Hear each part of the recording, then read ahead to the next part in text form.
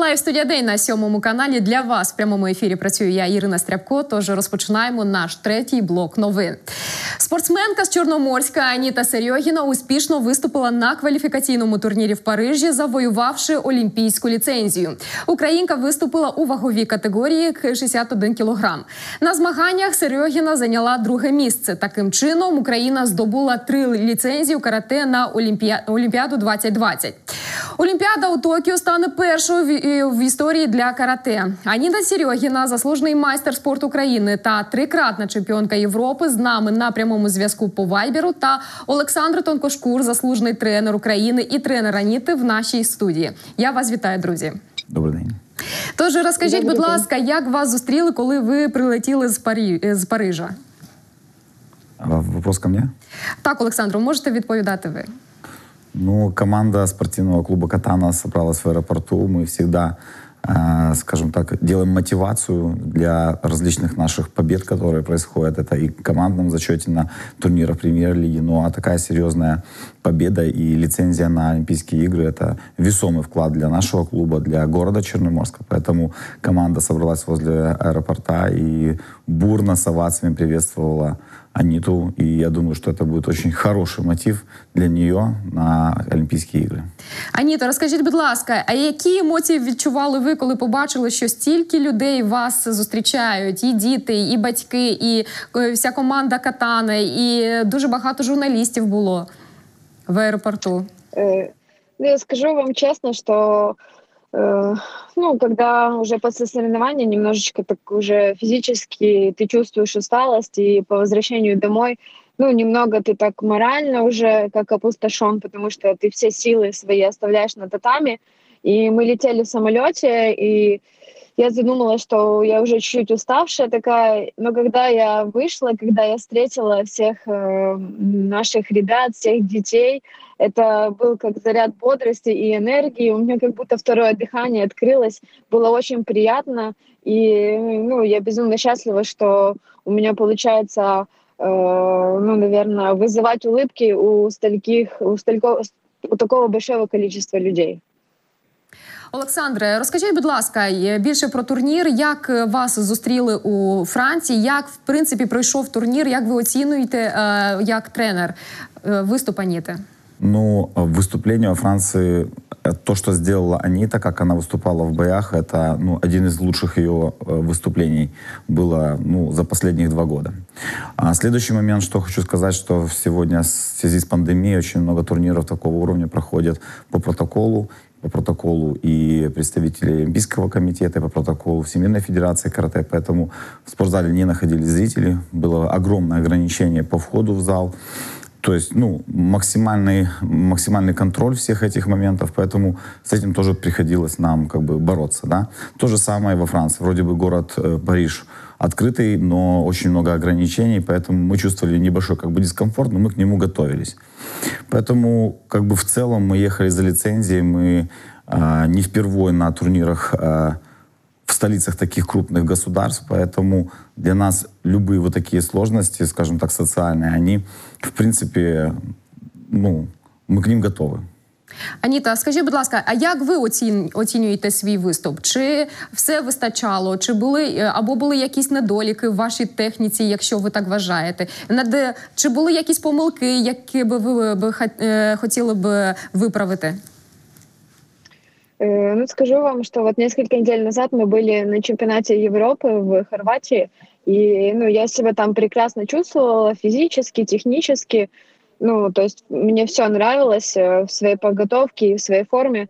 Но я знала, что еще через три недели еще более важнее турнир будет, и я понимала, что, ну, я чувствую хорошо, значит, может быть еще лучше.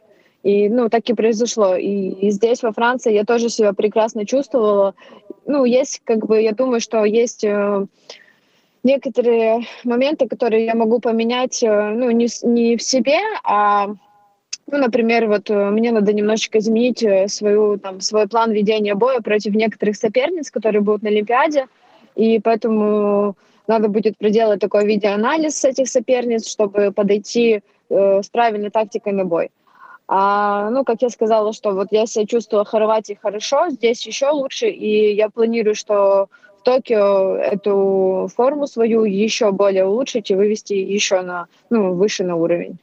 Як плануєте це зробити? Що для цього треба е, робити вам або тренеру? Наверное, тренеру.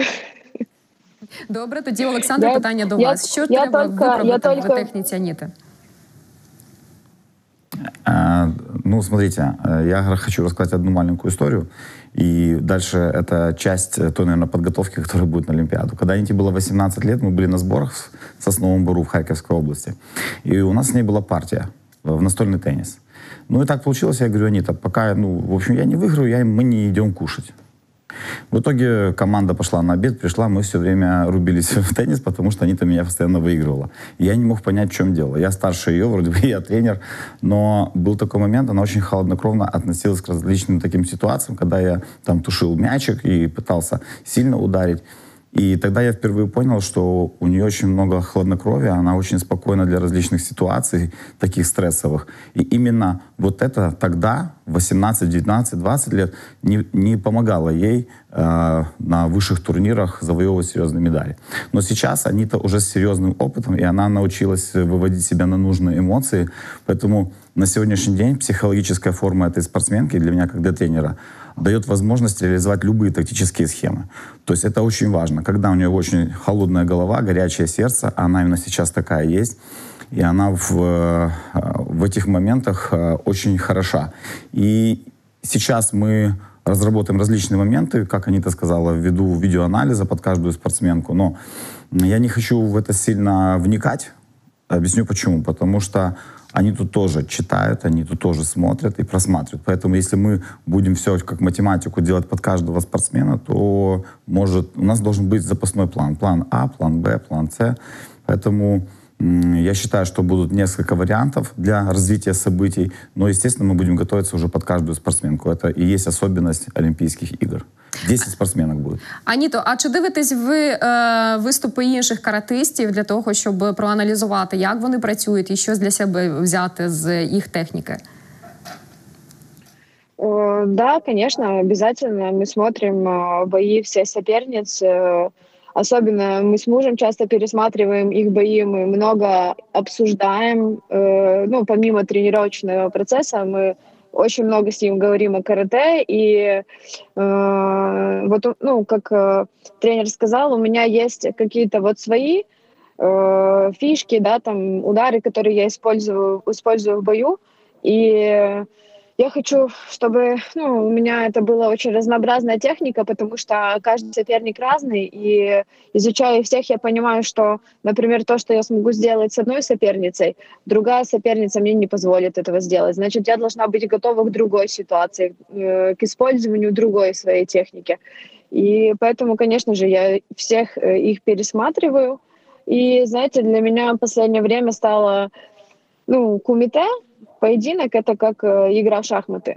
Если я выхожу с холодной головой, значит, я все смогу контролировать, м, все ее ходы, все ее движения, действия, а значит, что я смогу ее и переиграть. Олександре, як зараз проходить підготовка до Олімпіади? Ну, на сегодняшний момент у нас небольшой был отдых, нужна перезагрузка. Есть небольшая травма, которую Анита получила в Париже. Поэтому сейчас у нее только в- э, на этой неделе у нее будут функциональные тренировки, а уже со следующей недели мы начинаем готовить технико-тактические моменты. И мы так будем продолжать работать до 21 числа. 21 июля мы вылетаем на адаптацию в э, Хина, это префектура э, Токио, где будем на протяжении 10 дней готовиться к, э, к турниру, но в условиях адаптации. Да?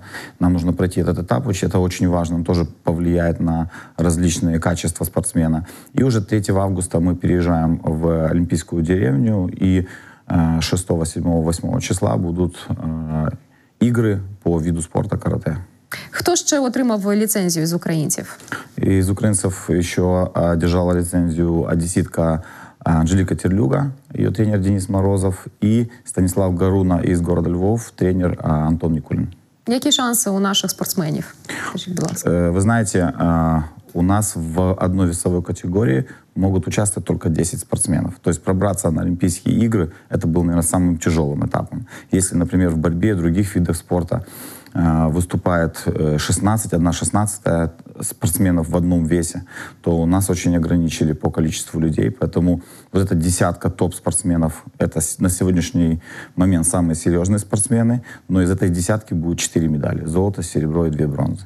Поэтому если э, проанализировать работу каждого спортсмена и вывести на максимальную, э, на пик формы спортсмена именно под в день соревнований, то шансы у наших спортсменов очень большие, потому что Анжелика Терлюга э, возглавляет рейтинг э, в категории своей до 55 килограмм, Станислав Гаруна в четверке рейтинга, да, они-то сегодня в хорошей психологической форме, то есть у этих всех, у э, этих троих спортсменов есть очень серьезные шансы для того, чтобы одержать наивысшую победу.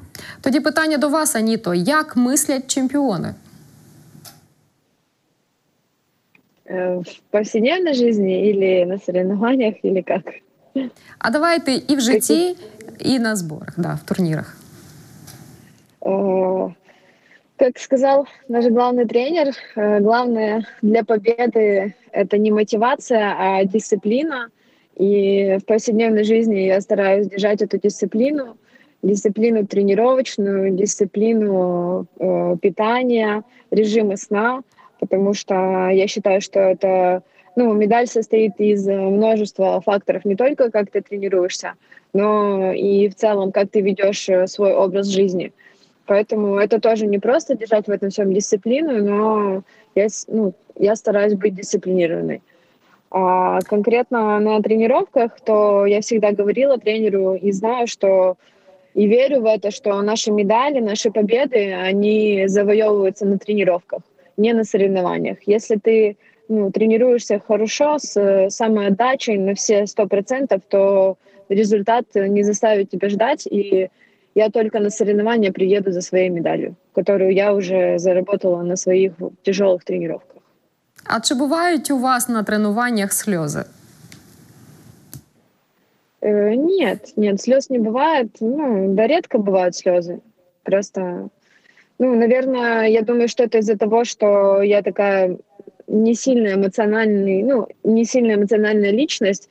Я больше, ну, у меня, наверное, где-то впереди идет, наверное, логика и какие-то мысли, нежели эмоции. Поэтому, если что-то не получается, я сразу начинаю искать причины, почему не получается, что можно сделать для того, чтобы это исправить. Сразу мне хочется найти какие-то выходы из ну, сложившихся ситуаций.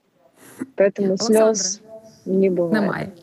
Олександре, а як краще для спортсменів, для чемпіонів? Краще, щоб вони були емоційні, або треба приборкувати свої емоції під час турніру або е, під час тренування? Ну, то, что вы сейчас назвали, естественно, нужно прививать во время тренировочного процесса. Но есть те качества, которыми врожденный спортсмен. У, них, у него есть свой темперамент. Есть, скажем так, ментальный интеллект, есть эмоциональный интеллект, есть физический. Для нашего вида спорта идеально интеллект физический. Когда мы мгновенно через мысли, которые нам необходимо сделать на татами, превращаем это в действие, в моторику, и это все у нас будет подкачано эмоциями. Но если человек мысль выпускает и сразу зажигается как вспышка, как вспышка да, и он пытается ну, много чего делать, и он рубится на татами, в нем много эмоций, это все мимо, непонятно куда, то, конечно, с эмоциями тяжелее бороться тренеру, а, чтобы спортсмен их подавил. Когда врожденно приходит, скажем так, спортсмен, его называют талантом, он когда мысль превращает сразу в действие, он очень холоднокровный. Ну, я еще раз говорю, когда Анита была ну, повзрослевшая девушка, 18-20 лет, то ее игра в шахматы, она не сильно подкреплена была эмоциями. И поэтому не было высоких результатов. Сегодня она немножко по-другому почувствовала жизнь, взяла опыт, поэтому она добавила эмоций. Сегодня она на татами кричит уже не так, как э, это было раньше. Поэтому сегодня это другая спортивная личность, чем была в 20-22 года. Поэтому я рассчитываю, что именно вот эти качества, которые мы накопили, они нам помогут на Олімпіаді. Тобто, Аніто, вивести вас з рівноваги майже неможливо, так? Да. Думаю, що да. А чи бувають у вас суперечки з Олександром, з вашим тренером? Буває таке, що ви не згодні з ним? Uh, да, я даже, если честно, такого не помню.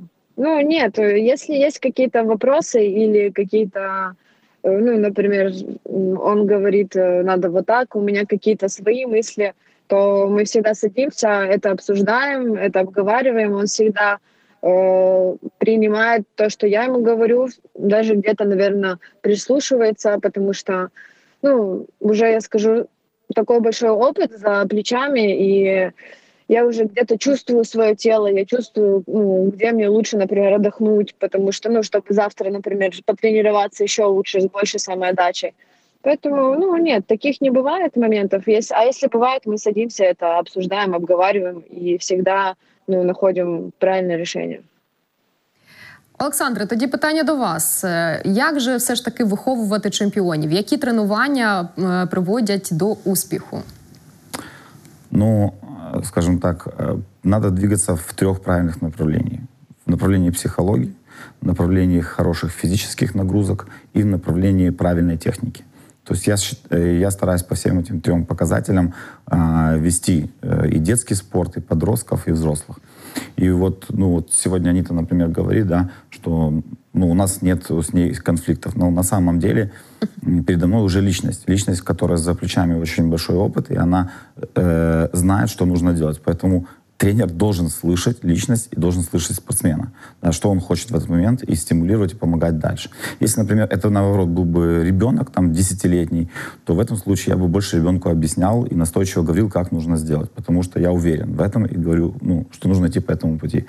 Поэтому в нужный момент возраста нужно проводить с э, детьми правильный тренировочный процесс, правильную психологию, правильные физические нагрузки. С этим у нас проблема Э, с кадрами у тренеров, кстати, все хотят в детском спорте реализовать побыстрее золотую медаль, и они не доживают до взрослого спорта. Поэтому нужно немножко потерпеть, нужно немножко подождать, и тогда взрослый спортсмен без травм выходит на очень высокий уровень и готов сражаться. Аніта, чому вибрали саме карате? Не поверите, подружка привела. Поэтому, ну, вообще я с детства мы с мамой очень много ходили по разным секциям. Я пробовала себя во многих видах спорта. Ну, как-то это все быстро проходило, и потом я в лагере, в детском лагере увидела, что моя подружка занимается карате, она мне предложила прийти, попробовать. И, ну, скажу честно, я, я пошла не на вид спорта, не на этот вид спорта. Я пошла, потому что ну, как по детству, мне нравилась э, эта компания, большая дружная команда, мне нравилось общаться с ними. И, конечно же, я сейчас понимаю, ну, что меня при, привлек э, мой тренер своей строгостью, своей дисциплиной. И ну, я уже так думаю, что мне с детства это нравилось, когда э, в жизни есть авторитет, э, когда если даже тебе чего-то не хочется сделать, он тебе скажет, ты это сделаешь. И ну, вот с того возраста как бы Саша для меня такой авторитет, и я думаю, что э, это сыграло очень важную роль в моих победах, в моих победах и в моем жизненном пути. Олександре, дуже коротко. Топ 3 поради, як виховувати чемпіонів. Не спешить, включать голову в подготовке со спортсменами и в нужный момент включать тренерские эмоции, которые э, на каждом, скажем так, возрастном уровне, они разные. Поэтому тренер должен быть терпеливый, тренер должен быть дисциплиной, показывать пример, ну и он должен быть красавчиком. Аніто, тепер топ-3 поради від вас, як стати чемпіонкою Європи. Ну, у меня будет одна, одна такая, один такой совет, что я хочу сказать э, всем, кто занимается спортом, ну и конкретно карате, что наш вид спорта — это, если сравнивать с легкой атлетикой, это не спринт это марафон. И достигнет результата и добьется своей цели, кто имеет э, терпение, трудолюбие и дисциплину на всем этом пути. Дуже вам дякую, Олександре. Дуже вам дякую, Аніто, за те, що ви доєдналися до нашого прямого ефіру, за те, що ви, Олександре, прийшли в студію, за те, що ви, Аніта, знайшли час і доєдналися по вайберу з нами. Я бажаю вам успіху. Чекаємо вас з Олімпіади з перемогою обов'язково і е, натхнення вам, сил вам і е, дуже дуже знаєте, щоб у вас була дуже велика підтримка від українців. Дякую вам. І хочу нагадати всім нашим телеглядачам, що з нами на зв'язку були Аніта Серйогіна, заслужений майстер спорту України, трикратна чемпіонка Європи та Олександр Тонкошкур, заслужений тренер України і тренер Аніти. Е, ми говорили про те, що Аніта Серйогіна успішно виступила на кваліфікаційному турні в Парижі, завоювавши олімпійську ліцензію. Українка виступила у ваговій категорії 61 кілограм. На змагання Серйогіна зайняла друге місце. Таким чином Україна здобула три ліцензії у карате на Олімпіаду 2020. Олімпіада у Токіо стане першою в історії для карате.